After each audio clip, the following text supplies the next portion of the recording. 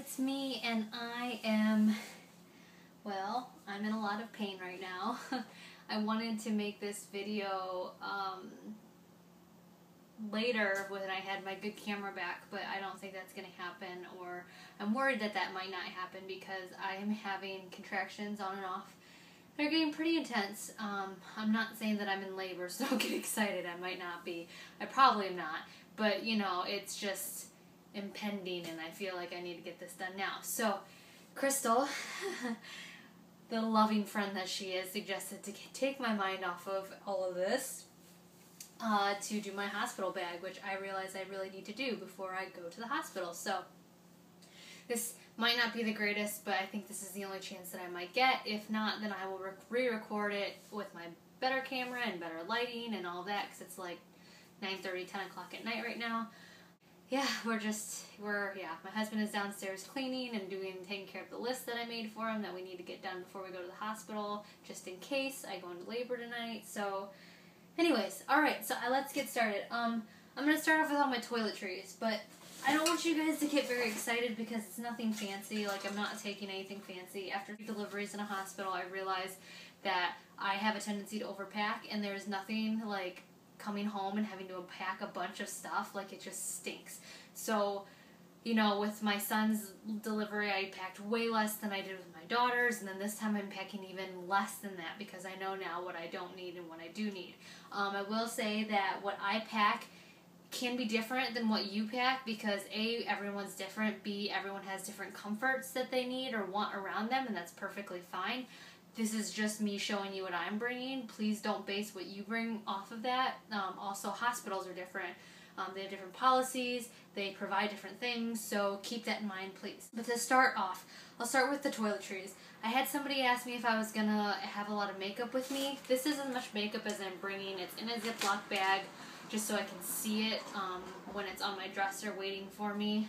Uh, it's literally it looks like a lot of makeup, but it's really not. It's just to feed my brushes, and it's just natural stuff like blush, uh, bronzer, and a highlighter, stuff like that, and then mascara, which I doubt I'll even use any of this. It's just in case, depending on how long I'm there, how I'm feeling, you know, just to have it there. So I've been leaving this in my facial moisturizer on my dresser, um, and then I can just grab it, use it, which I haven't worn makeup in like a week because I've been so lazy. So but yeah, this is there just in case. I didn't wear makeup with my son or my daughter's delivery, so I probably won't again, but who knows, it might be different this time. So there's that, my makeup bag that's ready to go. I'm bringing my method balls because I love them and they'll help with my back pain. You can, My husband can also use them to rub my back afterwards. I'm bringing a big comb because I don't, I don't know, to brush my hair in case it gets ratty, which I don't know if I'll take, a, well, I'll probably take a shower. I'm also bringing Purell, which I went and I went I went to Meijer and I bought a bunch of their travel size toiletries. There's a reason I did that because a, I wanted to have everything just like in my bag. I didn't want to have to think about anything in case, you know, I go into labor and I'm home by myself during the day with my son. I just wanted to be able to grab everything or have everything in the car instead of having to be like, oh, well, I need my toothpaste and my toothbrush still, or I need my hair wash, you know, up until that point. So what I did was I bought a bunch of travel size items. So I have Purell, because these are only like a dollar or two dollars at the most at Meijer, which is really nice. And if I don't use them, they're travel size, I can use them later. It's not like they're going to go bad. So all of my travel size stuff is in here. The first thing I got was Purell, um, in case my kids, when they come, I mean, I know hospitals probably have them, but just in case, my kids can put it on their hands before they hold the baby. And then inside here, I have some Simple Sensitive Skin Experts. I've actually never used these. This is the only travel size I could find in these though. These are facial wash wipes, you know, instead of having, because I don't know how I'm going to feel if I can get out of bed and wash my face or if I'll even want to. So this is just in case if I need to remove any type of makeup or if I sweat a bunch or if I just feel gross, I can refresh my face with just this travel size um, cleansing facial wipe. So I got those instead of face wash. Some Nivea cream. It's just like a lotion, whatever, because my skin's been getting really, really dry. This is a dollar as well. Um, Q-tips because it's the weirdest thing, but you never know when you need Q-tips. Again, only like a dollar. I actually think I think these were two for a dollar, but a dollar. Um, a mini Dove uh, powder invisible shield deodorant because I sweat last time and I yeah deodorant. I have my Dove intensive repair conditioner shampoo and then also body wash all in mini size. I used to use Dove a lot before I got pregnant before my hair started getting really dry and my coconut stuff does not come in travel size so I just implemented these instead. I have a travel size toothpaste, of course, and then a travel size, two travel size mouthwashes, one for my husband, one for myself, because I do not want his stinky breath in my face when I am in labor. I also am bringing gum, but that's in the car. I have two travel size toothbrushes that I click in. These are really cheap. They're like a dollar. Uh, again, this is so that we don't have to be like, oh, did we forget our toothbrushes? Or, oh, we need to make sure to grab our toothbrushes before we leave. They're just in here. Again, we can use these if we I don't know. Yeah, but so I got one for me and one for my husband because he never remembers to bring that kind of stuff. And then this is the silly thing. I got disposable razors. And I only did this just in case, like, I have this miraculous, like, burst of energy, and I'm like, oh my gosh, I can see my legs again. I'm gonna shave them, you know? Probably won't happen, but they were like 50 cents, so I just got them. So, that's all the toiletries I brought or I bought for the trip, and that's all that I'm gonna bring. Again, I might not use all of them, and if I don't, then it's just like I can use them for another trip, and if I do, then I'll be glad that I had them. Uh, they were really cheap. I think everything all together was like $16, $17, and for a peace of mind, that's good enough for me. So that's all in here and ready to go. Uh, I also have hair bands. This is they're stuck together with this thing. These are actually neat. These are by EmiJay. You've probably seen me wear these throughout the summer in some of my videos. I really, really like these. They're very, very like, I don't know how to explain them, but they're by EmiJay, E-M-I, heart, J-A-Y. They sent me these to review along with their hair bands. These are wristlet hair bands. And they're just fancy. They're like cute. You can wear them as like bracelets. And then they also, excuse me, they also go in your hair. Oh my gosh, can contraction. They also go in your hair as hair ties. So as you can see, it says EmiJay on. They're really, really cute. I picked these. They're like a sheer neutral color. They also sent me this black headband to wear during labor to keep my flyaways out of my face and to look pretty at the same time.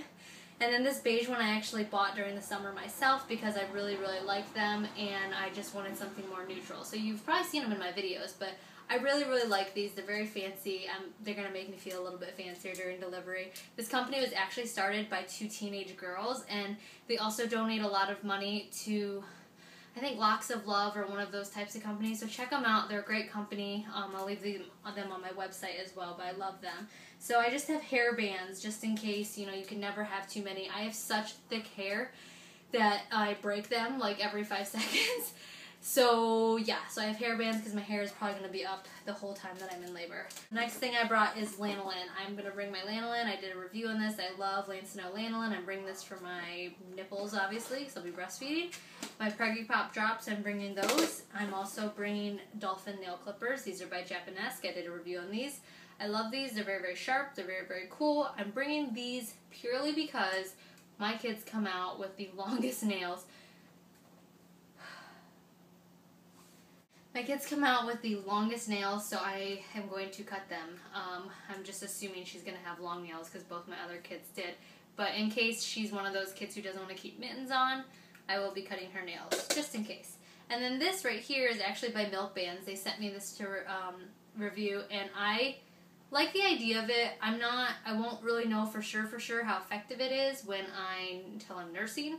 But what it is, it's a band that you can wear around your arm and you, it reminds you what side that you last breastfed on. It has a left and a right. So say I have last breastfed on my left side, I'd flip it over then to know that the next side that I need to go on would be my right side and vice versa. And then not only that, but it also has these little dials right here so you can move them around to tell you when the last time you nursed was to, or to tell you how long you nursed for on each side. So I really like this. I'm bringing it along because I remembered last time I just was so tired I couldn't remember which one that I left off on. And I got infections a lot in my right breast because I think I overfed or didn't feed enough on one. So I'm going to try this out and I'll tell you guys how it goes. But this one of these will be in one of in my giveaway for the month.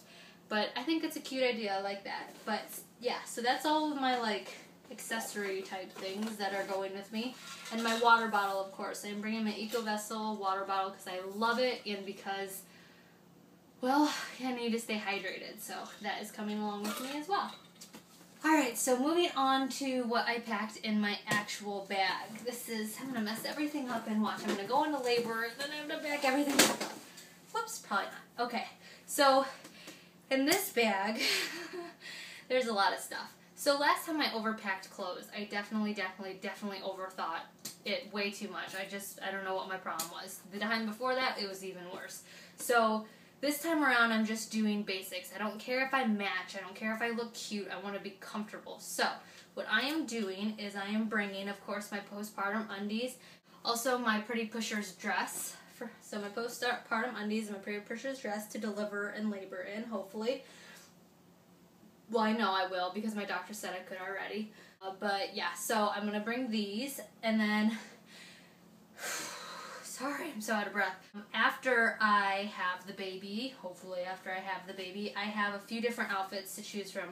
I have some lightweight Old Navy, just really comfy, loose fitting pajama pants, and then I also have some flannel pajama pants that are just baggy but they're long.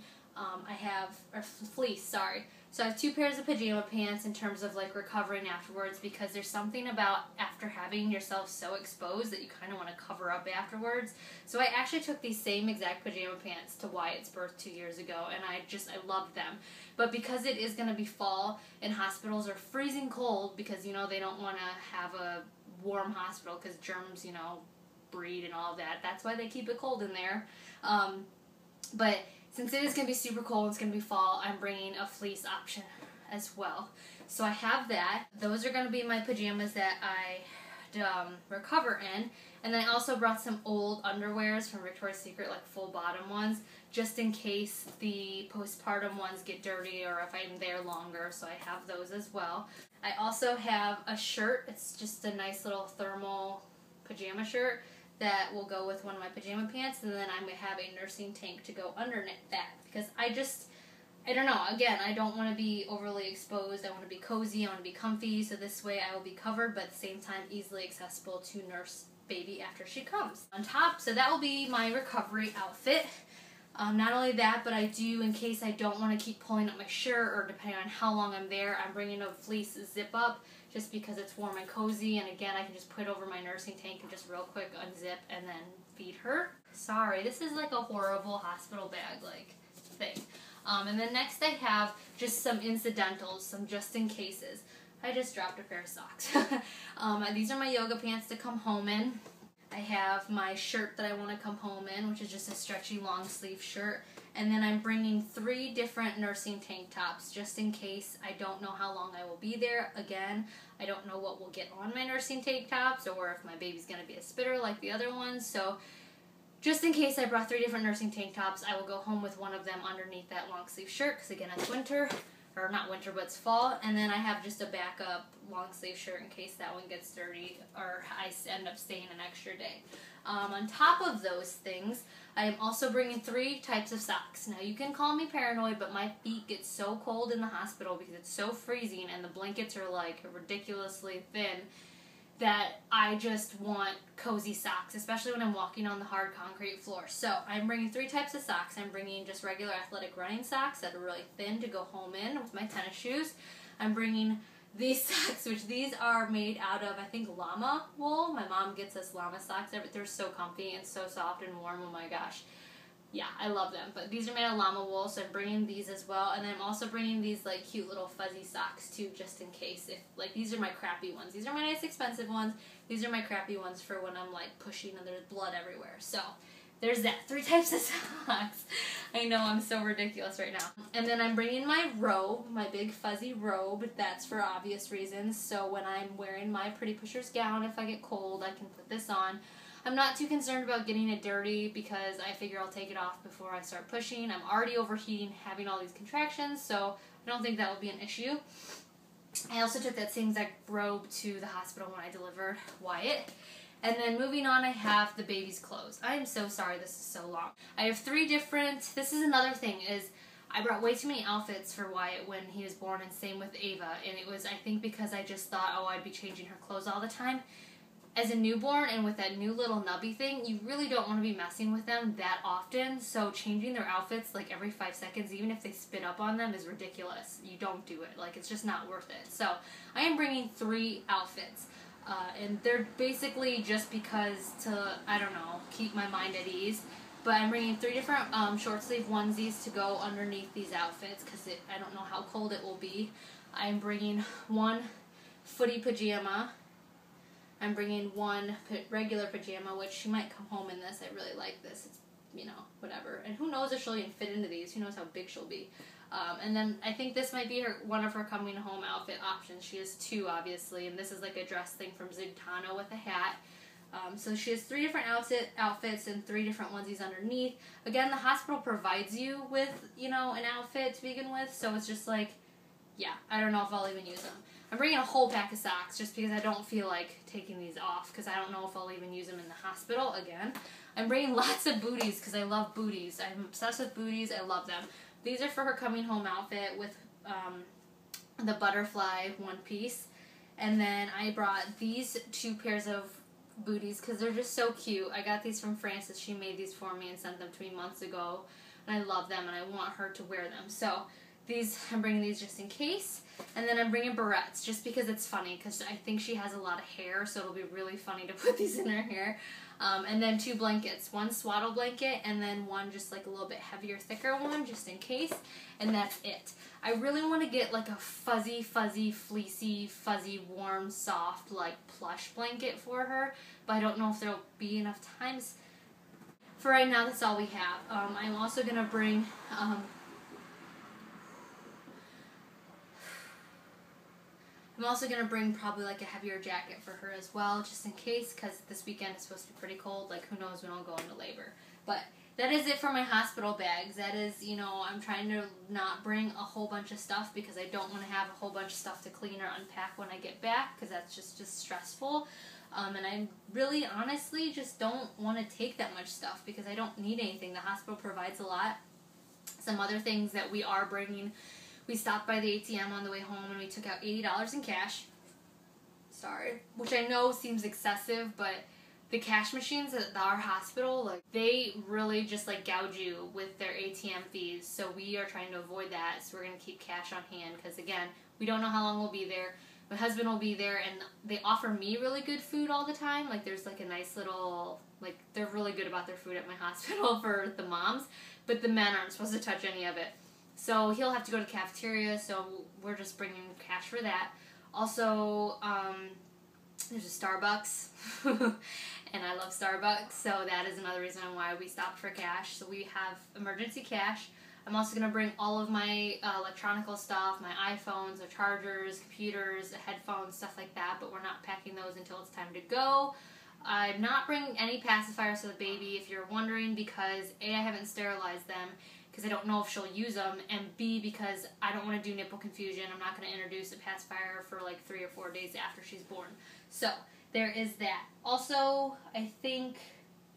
I think that's pretty much it. Like I think we're we are not really I don't know the car seat. John's installing that right now in the van, and other than that, like we just have to remember our kids and where they're going while we're at the hospital. So we're pretty we're ready. Like it's really exciting. I have to repack this obviously which won't be that big of a deal but that is what we are bringing. Next oh i am bringing my big big fleecy blanket that i showed you in my last video. I don't know if you can see me it's behind me. It's like a really big big big cozy blanket because i like having my own blanket on top of me because it's warm and cozy compared to the hospital sheets that are like starchy and icky and then I am bringing my own pillow. Not my snuggle because that's too big, but my own pillow and my blankie that I sleep with. So uh, those will be my personal effects that I bring. I'm not bringing slippers because you can't, my slippers that I have, I can't throw in the wash, so I don't want them to get dirty. Whereas my socks, I can just throw in the wash easily.